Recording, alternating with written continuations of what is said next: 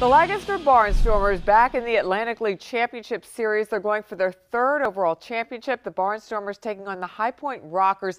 Game one tonight in North Carolina. Stormers begin the five-game series on the road, and they jumped out to a 1-0 lead. And then load the bases in the second, but Shawon Dunston, the strikeout there, so it stays at 1-0 Stormers. Brooks Hall was dominating on the mound for Lancaster. He gets some swinging here to keep it 1-0. This was a pitcher's duel in the fifth, the Rockers, though, would threaten, and they're going to pull even with this sac fly.